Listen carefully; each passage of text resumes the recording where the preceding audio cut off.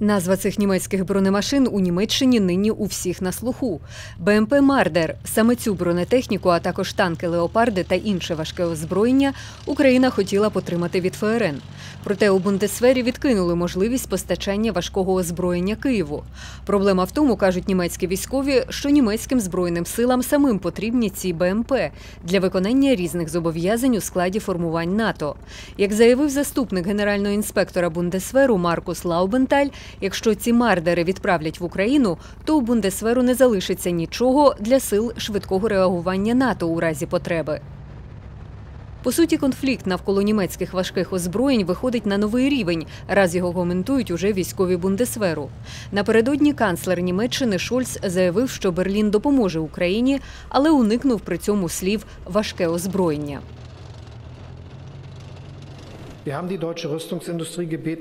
Ми попросили німецьку військову промисловість повідомити, що саме вона може поставити найближчим часом. Україна вже зробила вибір із цього списку, і ми надаємо їй гроші, необхідні для покупки. Ми й надалі виступатимемо на знак солідарності з Україною. Країна отримуватиме нашу підтримку. Але як лідери, ми також зобов'язані запобігти розповсюдженню війни на інші країни. Тому НАТО не може і не буде безпосередньо втручатися у війну. Це рішення залишається чинним. Ми всі з цим згодні.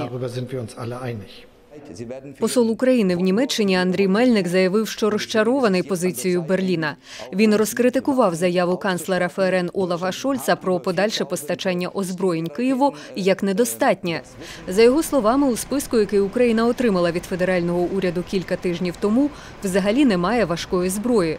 Тому в Києві не розуміють, на що можуть витратити майже півтора мільярда євро військової допомоги, якщо необхідну зброю купити не можуть. У Німеччині вже котрий день триває запекла політична дискусія, пов'язана з небажанням канцлера Олафа Шольца дати добро на постачання важких озброєнь Україні.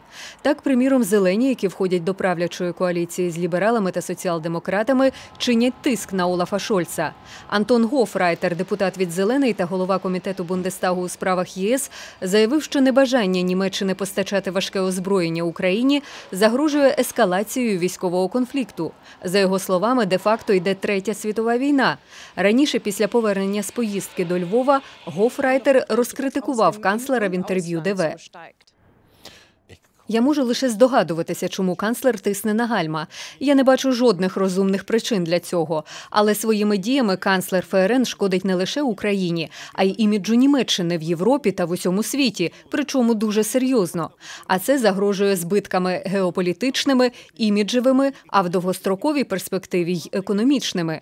А головне, звичайно, це те, що в Україні гинуть люди. Тому я можу тільки закликати канцлера: припиніть нарешті тиснути на гальма і дайте зелене світло світло. Німецькі ліберали також кажуть, що уряд Німеччини не повинен зволікати на тлі війни Росії з Україною.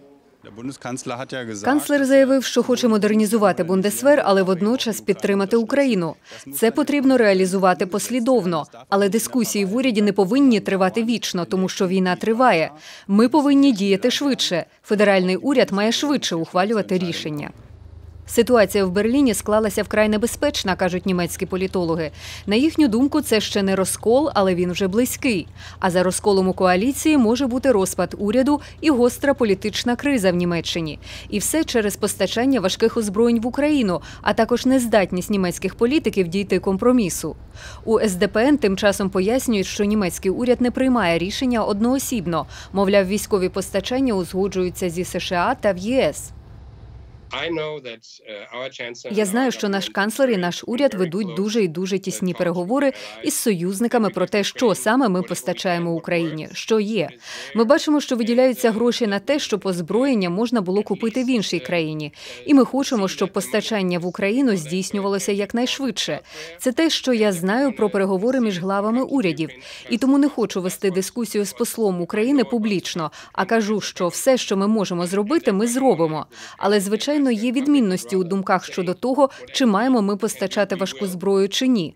І одне із зобов'язань нашого канцлера та й інших глав держав не допустити втручання НАТО в цей конфлікт. І це одна з проблем, яку ми маємо вирішити. Хоча й у самій СДПН немає єдиної думки щодо озброєнь. Так, голова комітету Бундестагу із зовнішньої політики Томас Рот виступив за якнайшвидше постачання зброї Україні.